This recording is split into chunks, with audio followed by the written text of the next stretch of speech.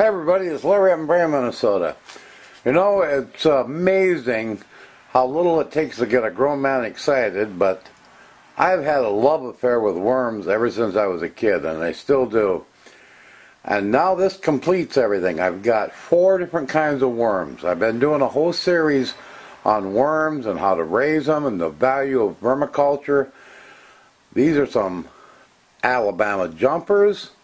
And over here some more red worms. And I have African night crawlers. I just got yesterday also. And I have some European night crawlers. The four kinds that I'm really interested in. So we're going to take a little look at these red worms I got. Okay, these are nice and lively. And came in really good shape. Uh, I got these from the Worm Pal. Really nice. Nice packaging.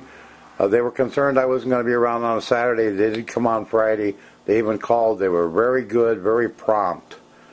And uh, I'll go through these and see what kind of count I get. If I get a good count and it looks good, I can put a link on this for this. But they've been, these are your red wigglers, the famous red wigglers. Uh, really a great composting worm. Let's take a look at those Alabama jumpers. Now these are the ones I have really been excited about. These Alabama jumpers. They are some kind of worm. They're just getting crazy. And these get pretty nice size too.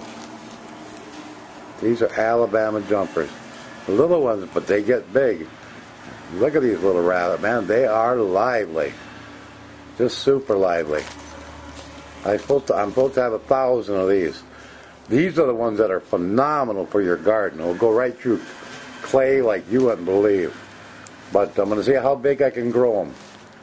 That's a little update. My uh, third video in my series I'm going to be doing probably later tonight, and that'll be about how to set up a worm bin. There's various ways you can do it, and I'm going to cover a bunch of different ones.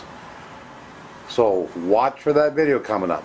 This is Larry in Brandon, Minnesota.